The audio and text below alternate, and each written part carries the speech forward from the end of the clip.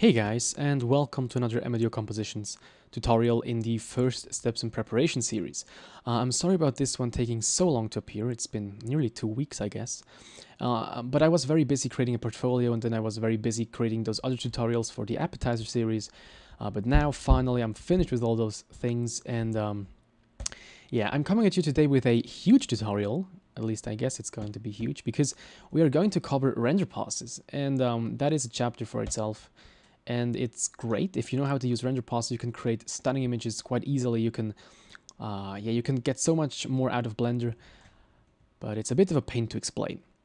Um, so I tried to create a setup where you can actually see how all those things work um, right away. And what we're going to do we're going to use all those render passes today okay?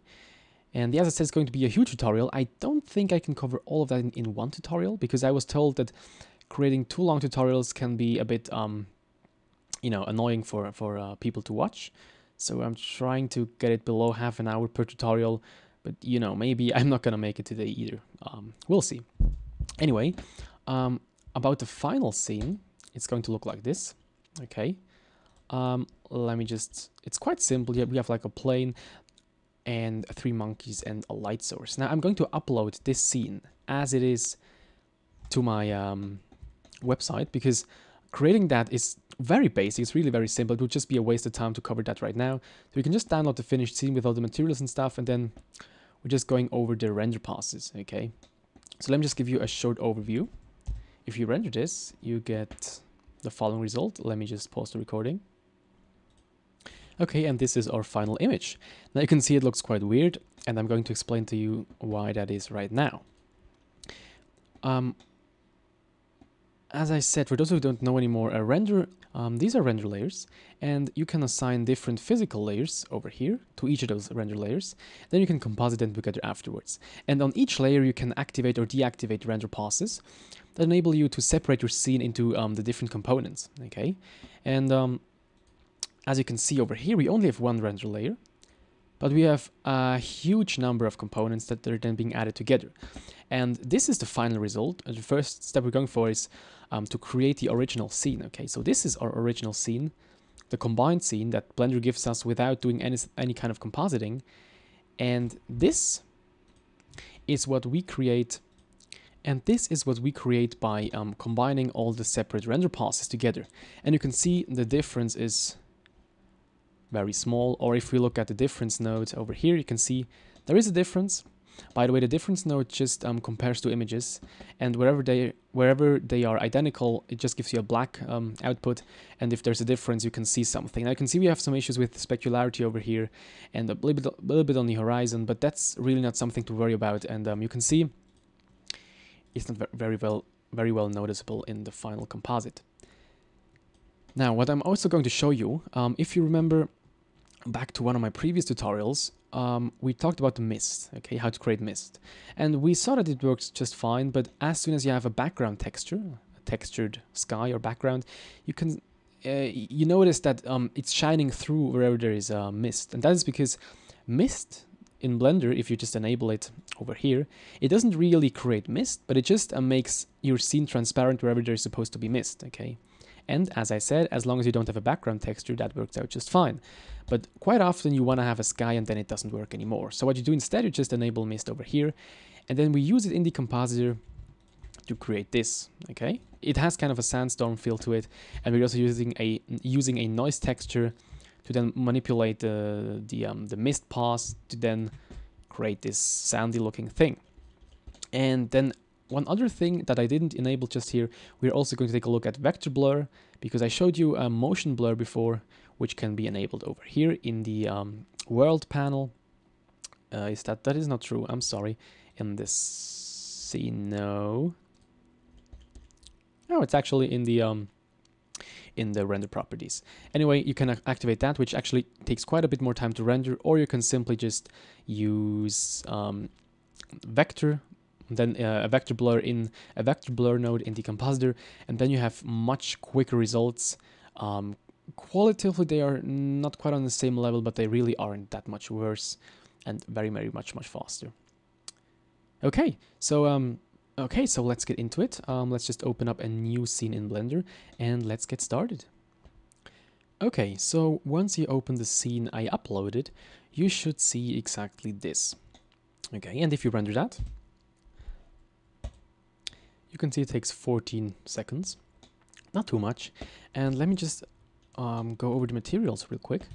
We've got one monkey, um, in my final image that I showed you just a few seconds ago, this has subsurface scattering enabled, but for now we did not enable subsurface scattering. Okay, I disabled it because um, it is a bit difficult to um, compose to composite subsurface scattering, and we'll take a look at that in just a few minutes after I'm taking a look at all the other things. Okay, then um, we have this. Oh, by the way, the nose you can see I have two materials over here, um, and the nose is actually emitting light.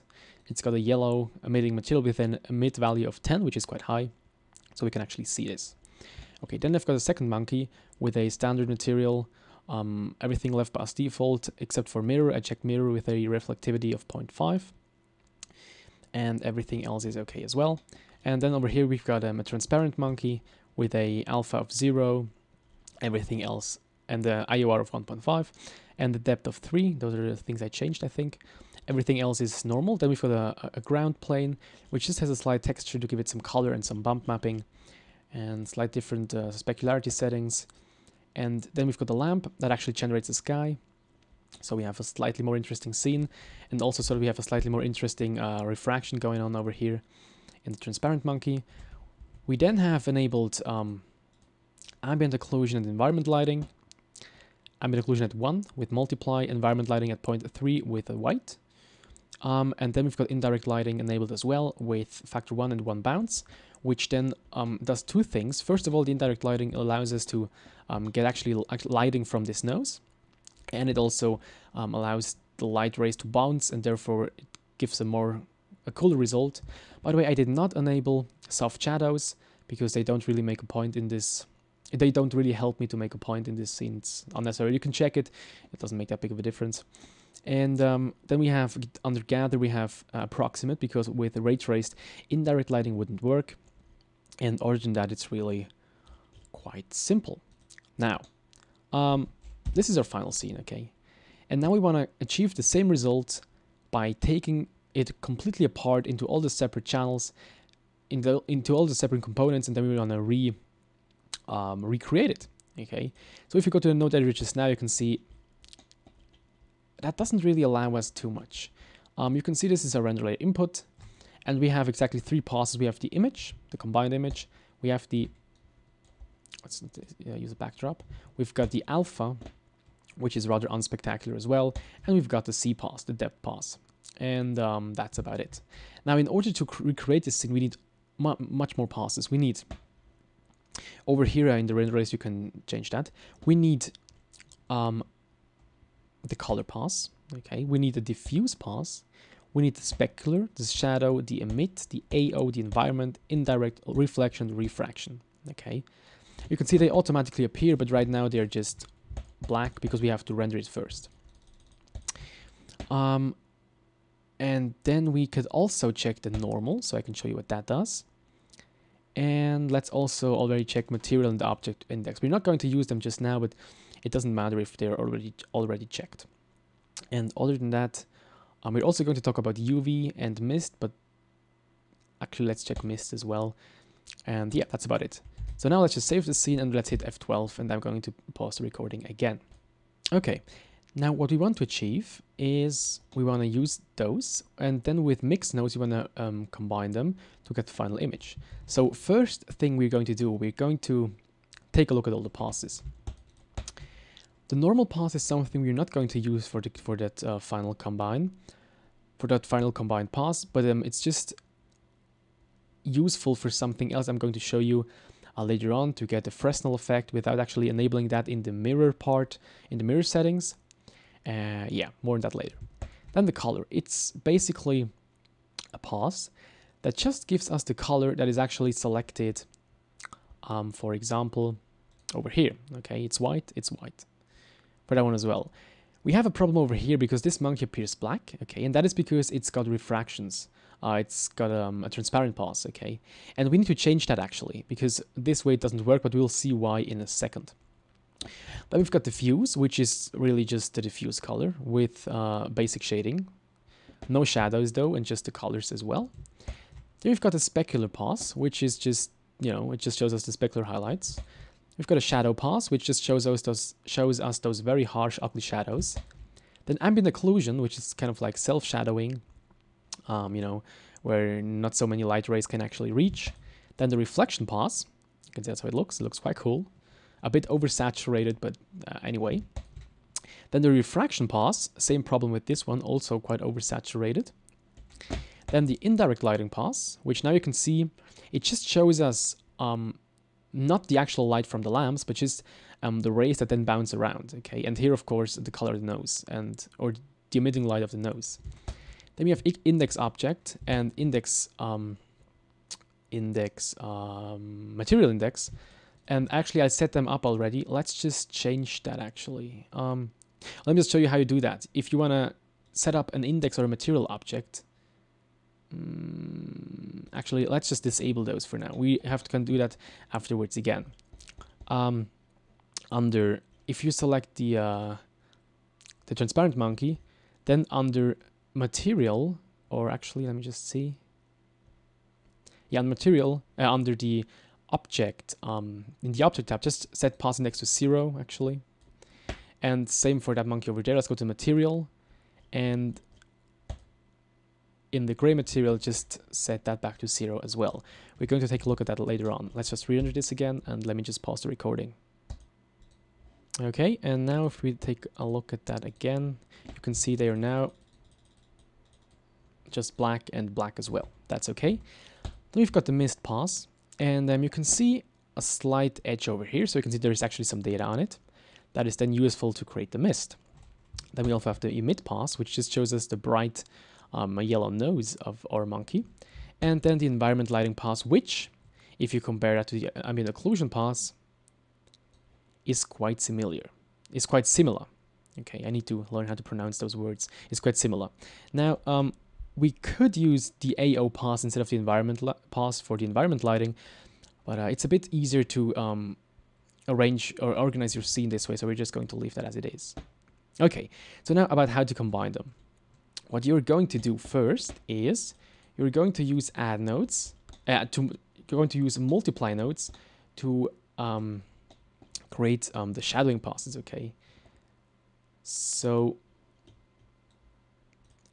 so we're going to use the diffuse pass um, at, a, at a mix node. We're going to use the diffuse pass that looks like this. We're going to set that to black and that to add okay? Because if that is add, then it actually adds this value. If this is black, this is zero. Therefore, it doesn't do anything as long as there's no input. You see, this is our diffuse pass. And now we're going to add, uh, to multiply, I'm sorry, multiply, and that set, let's set that to white. Because now it actually multiplies this, this input with one, and therefore it stays the same. And now we can, we can just add the shadows. And you can see that's what it looks like, okay? And then the next thing we're going to do, we're going to duplicate this multiply node and we're going to add the ambient occlusion pass. Same thing, we have an ambient occlusion pass which is which is black and white. And with multiply, we're just going to multiply the black values onto this image and therefore creating a darker image, okay? And then the next thing would be to start adding things, okay? So let's once again duplicate that. Let's set that to black. Now you can see um, it turns black and we're just going, to change that to add, therefore it doesn't affect it anymore. And now we're going to add in our first, um, our first color pass, so to say. And we're going to start with the specular pass, okay? Let's let's just add that in. Now you can see we have those specular highlights going on. Um, next thing we're going to add are actually the reflections, okay? Now you can see we have reflections. You can see up to now it's really quite simple. Um, you just need to know that all the uh, the shading passes need to be multiplied and all the coloring passes need to be um, added. Next thing we're going to add are the refractions, like this. Now you can see our monkey is refracting the environment, or it's just transparent and yeah. Now the next thing is uh, the emit pass. So let's just duplicate that again. Now let's just add the emit pass and you can see the nose starts glowing. And then um, it starts to become a bit more difficult, okay? Because now what's left is the environment pass, the environment lighting pass and the indirect lighting pass. And they can unfortunately not just be added, okay? Let's just try that. If we just add them in the indirect lighting, that's what happens. And um, although this doesn't even look too bad, um, you can see that that's not really how it's supposed to look, okay? And the same thing with the environment, of course, since that looks the same as ambient occlusion, if we just add that, you can see that's what we get. It just everything becomes everything becomes white because we're adding quite bright white values onto everything, and therefore it doesn't work out as well. So we need to prepare those passes first. So what we need to do, we need to pre-multiply or, well, we need to multiply them with the color pass, okay? So let's just add in, or let's just copy this multiply node twice. In the upper one, let's just add in the indirect lighting pass, like this actually. In the lower one, let's add in the environment lighting pass. And then let's take that color pass and let's just add that into over here and to over here. Okay, and now we get this and this. And this is our indirect lighting pass, and this is our new environment lighting pass. Now we can actually uh, use them, and we can add in the indirect lighting pass, and Shift D, let's add in the environment lighting pass like this. Uh, is that correct? Let me just see. Yeah, that pretty much sums it up. But as you can see, this is not really um, similar to what we have over here. Okay, and the first reason for that is that um, over here you can see we've got an environment lighting, an energy of 0.3, okay? And if you have 0.3 over here, then you actually need to set that to, to 0.3 as well, okay? And now you can see that actually helps it quite a bit already. And you can see we're already quite close actually. Um, the main difference being that this um, refraction pass or just um, the uh, um, the transparent um, refractions from this monkey are not very sim similar to what we have over there okay and that is because of this you can see the color pass over here has just a black monkey and I'm not quite sure why Blender does that I think it's rather annoying um, if you have um, the transparent under transparency settings the alpha to if you turn it down to zero, you get a blackout. But if you have it at one, you get a white, and then everything in between is interpolated. And that's really not what we want. So we need to change that manually, unfortunately. Okay. And the way we do that um, is that we just use um, a material. In this case, a material, um, or actually an object index in this case. Okay. So we're going to back to the 3D viewport. We select this monkey.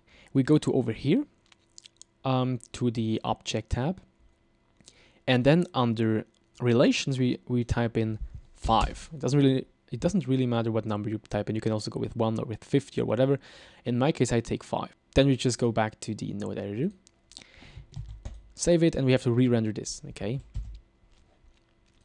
Okay, so that finished. And now we need to make it so that we can use this um, object index as a factor to mix in some some white into here, or actually not into here, but into um, the input that goes in here, okay, from the color. So we need to modify our color pass, and we do that by adding a mix node, okay. We're going to put that just over here. We connect the color to over here. We connect this to over here and here. So now this is actually our new color pass. And you can see that doesn't really work. So we need to um, connect the object index to over here. And now, um, that was wrong. We need to connect the object index to over here. I'm sorry. Okay, now you can see this works out.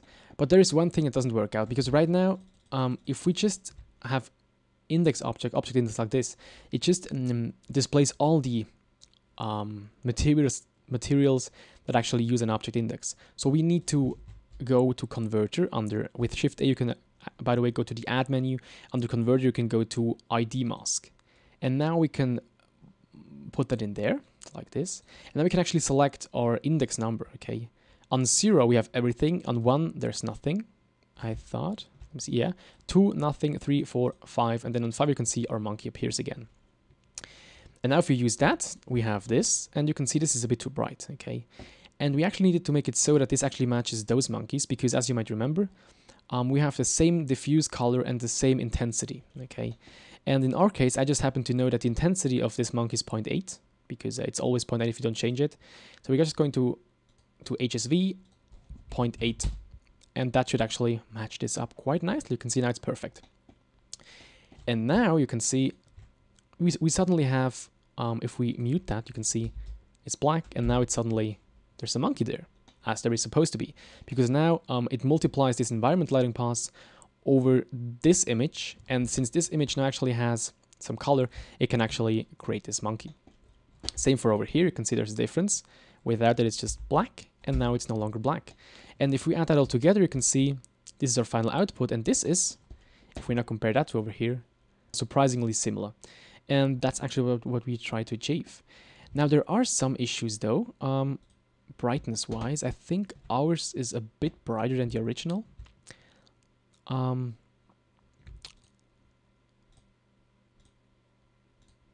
and here you can actually see how it actually starts to build itself, and that's pretty cool.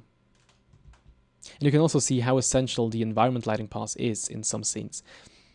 Okay, so now let's just compare this to the final output that Blender gives us with a mix node. And let's just change that to difference. And let's put that in there. And now let me just try to figure out why there is still such a big difference. And let me get back at you as soon as I figure that out. Okay, figured it out. Um, it's something I forgot, which is quite important.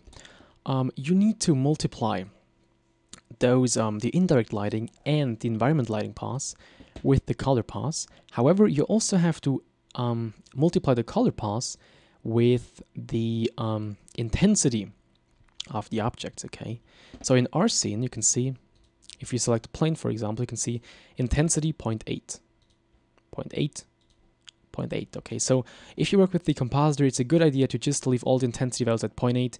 You can always just influence them in the compositor afterwards, okay? So in this case, because it's it's there is no intensity pass over here. Okay, you'd have to create the intensity pass separately with a new layer. Okay, you could do that.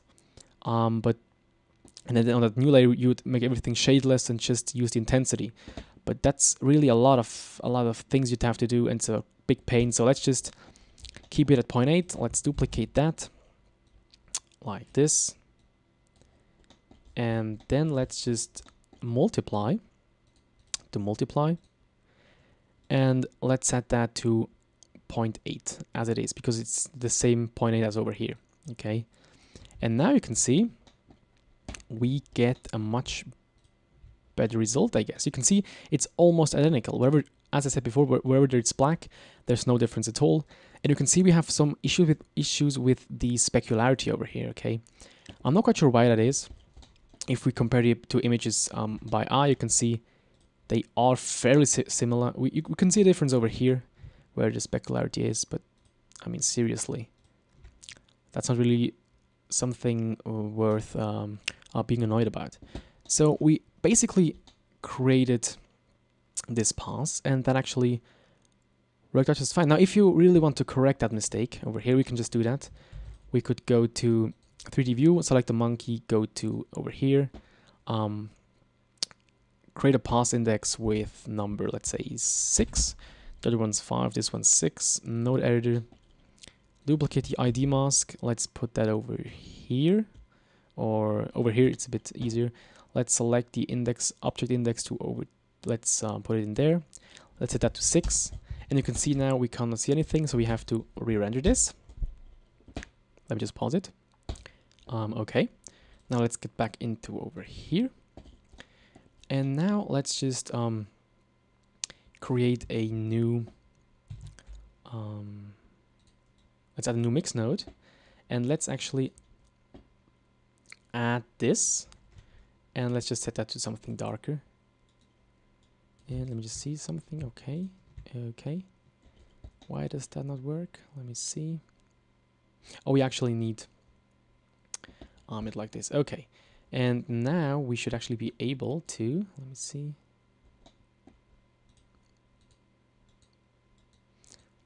Now we can create this mask like this, okay. Let's just, one other thing, let's just invert this node. Get the opposite, like this. Now we have basically a, completely white image, except for where the monkey is. We can here adjust um, the brightness of the monkey, okay? And now let's just use that as a factor amount to add in the specularity. I think that's our specular um, adding node. And you can see now, now we have control over that, okay? Now if I um, lower that to something darker, you can see it doesn't really work. We need to go a bit up, a bit more, a bit more, and then it starts to change. So I think it's a different issue than just the specularity. Um, but now you can see those images are even... Now they really look identical to the eye, okay? Um, I will try to figure out why that is, this problem over here. I'm quite sure it's got a, a, something to do with the um, with the mirror, okay? Because there's a mirror, we have some issues with the uh, transparency, and not transparency, with the specularity. And yeah, as soon as I figure it out, I will um, get back at you guys, but it's probably in a later tutorial. Okay, so we created our um, nearly identical um, pass, but there's one last thing missing, and that is the sky, okay? You can see here we have the sky, here we don't have the sky. What are you going to do? We're going to use a mix node. We're going to mix that in with that over there with the um, combined actually. And we use the alpha as a factor amount. Yeah I didn't really aim that well like this. See now we have our we have our sky. However now if we once again add in a um, difference node too bad I deleted the last one set that to difference um, over here then you can see if we now insert this we have an additional issue over here, okay? And that's because we actually, um, using a anti-aliased image and when we um, multiply it according to the alpha or, yeah, over, or we mix it according to the alpha onto that other image and therefore we get this um, zone here where it's not really clear um, what is supposed to be used and it gets this weird um, this weird line. Now we can change that by unpre-multiplying this image here with the alpha, okay? Or to be more accurate, to, to divide it by the alpha. So we're going to duplicate this node. We're going to set that to divide. We're going to use the alpha over here as the second input. And we're using that over here. And now you can see that's what happens. But then if that's on the wrong place, I just noticed. Um, we need to put that in there, of course, connect that there, and we need to use this over here actually. Let's once again use the alpha over here. Okay. Now you can see we have this line, and if we increase that, you can see the line becomes thinner until it's suddenly gone. Okay. Now 5 is probably a bit much, but if we now look at this, you can see this is the line. And now if we decrease that, let's say 4, you can see the line changes. 3, 2, okay, that's too much. 3, 3.5, and that's probably as close as we get to the final result. And now you can see we don't no longer have this gray line and it looks just fantastically similar to our original render. Okay. So this was much quicker than I thought. Uh, we already covered all the passes, all the standard passes at least, except for one. Um, that is the material index, okay? And the reason we did not cover that is because we didn't use it yet. But let's say we want to use subsurface scattering, and that's kind of an annoying thing to deal with in the compositor. Let's just select our monkey with its glowing nose, and let's select the first material, and let's change one thing, let's just enable subsurface scattering. Let's not change anything else, because it really doesn't matter for this tutorial, and let's just hit F12, and I'm going to pause the recording again. Okay, now the subsurface scattering increased our render time by only 2 seconds, so that's acceptable. And now you can see um, suddenly there's a huge difference over here, okay? And that is, because it, took me a while to figure that one out, it's because when you use subsurface scattering, um, ambient occlusion and some other things are no longer um, rendered uh, or no longer added on top of the subsurface scattering, okay? So we need to create a mask to mask that out. And this is actually not even that difficult.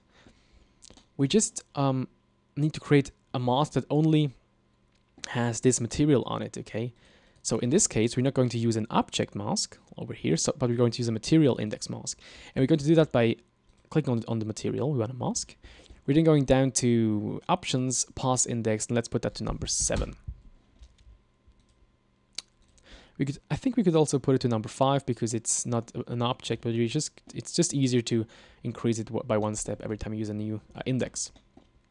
Now we need this, of course, um, but over here, let's put that to seven. And then let's just put that over here. Let's input the material and let's use this as a factor to first of all um, mask out the ambient occlusion, which is, let me see, this one over here. But you can see this kind of didn't work. Um, because if now if I um oh and one other thing we have to render it first of course. Because we changed the um because we actually uh, applied the material index to the material. But now you can see at some point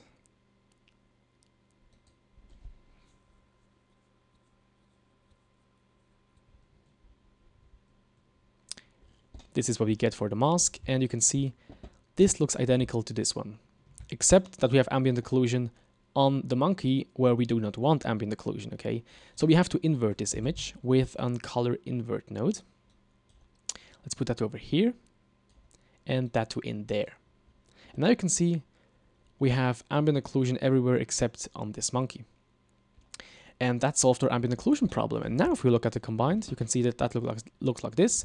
And hmm, this is still not the same.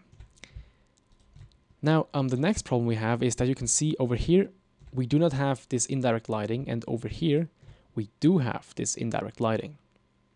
But it's also a brightness difference, okay? And that is, uh, once again, because we also don't want to use um, the environment lighting pass on our subsurface scattering material. So let's just use that as well as a factor for, um, let me see where our environment lighting pass is for over here. And you can see it doesn't really work. Now the reason is that um, previously we used the environment lighting pass with a factor of 0.3 to LiDAR scene. Now if we use this as a factor, you can see this is all white, this is all 1, and then this value is ignored. So we need to create one, uh, we, we, we need to create a value um, that actually still includes those 0.3. So we're going to do that with a multiply node, um, color mix. Put that in there, or over here. Use that as an input. Then we're going to use this one to over here, and you can see that's what we get. And now we're just going to, oh, uh, of course we, we needed to set this to multiply. And now if I turn that down, you can see it starts to do what we want. So we're just going to HSV, hit at the 0.3, 0.3. So now we have, once again, a grayish value. And if now we use that in order to combine everything with the environment lighting pass, you can see this starts to look fairly sim similar to this one over here. There's one issue though, and that is this um, jagged egg. And that's because our mask is actually jagged. Now we can set that to smooth, which unchecks it a little bit, but then it's still not perfect, okay? Now, if we zoom out a little bit to 100%, we can say that, let me see where is 100%. Um, somewhere around here, here we got it. You can see it's not that well visible, but it's still, it's still a problem. It can cause you problems. Now, if you want to have a perfectly smooth and perfect mask, you need to put this monkey head on a separate render layer, additionally to the first render layer, of course, and use the second render layer just to give you the alpha of this monkey, okay? And then you can actually get a clean mask. But we are not going to do that now because it doesn't isn't really necessary. And now you can see over here in the difference node, there's not much difference going on over here. The one thing that we have, though, is this um, indirect lighting. And believe it or not, but the indirect lighting will also be subtracted from the subsurface scattering material. So once again, we're going to use this mask, not the one we modified just now, just the normal one, and use that to over here. And you can see it turns black as well. Now we always have those lines and we can't really do much about them. But you, as you can see over here, you don't really see the problem there. Okay, it looks pretty much perfect now. I think if you don't want, if you don't know what to look for, you cannot really tell the difference. Okay, so now we um, that. Now the next thing I want to show you is how to use um, the mist feature and how to use the vector blur. But as promised, I try not to create too long tutorials, uh, which kind of already happened, but it's still only about 35 minutes or something. And I think we call it a an episode here, and we're going to continue in the next tutorial, which would be part 24. So thank you for watching. I hope you learned something. I hope it helped. If you have any kind of questions or comments or ideas or whatever, suggestions, please post them in the comments. I'm always uh, glad to get some feedback. And yeah, by all means, thank you for watching and see you in the next episode.